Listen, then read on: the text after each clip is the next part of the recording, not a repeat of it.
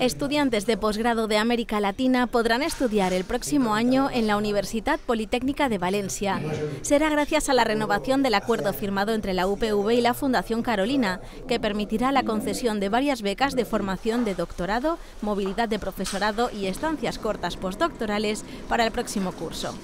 José Antonio Sanauja es el director de la Fundación Carolina. Ya hace algunos años que esa colaboración se estableció pues, a través de una serie de convenios para que parte de la oferta de, los, de, posgrado y también de doctorado de esta universidad, que, se caracteriza por su excelencia, por su, alto nivel académico, pues pudiera lanzarse hacia América Latina y atraer estudiantes de esa, de esa región que pudieran tener eh, una formación de alto nivel y también una inmersión en la realidad eh, social, eh, cultural pues, de nuestro, nuestro país.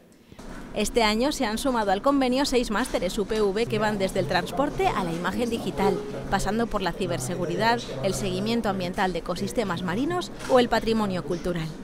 Es muy importante consolidar nuestra relación con la Fundación Carolina, con la cual ya llevamos años trabajando. Somos un socio muy importante para la Fundación Carolina por, digamos, eh, la capacidad que tenemos eh, de relación dentro del espacio iberoamericano, nuestra historia, eh, bueno, con, bueno solo en Colombia tenemos mil, mil doctorados ya,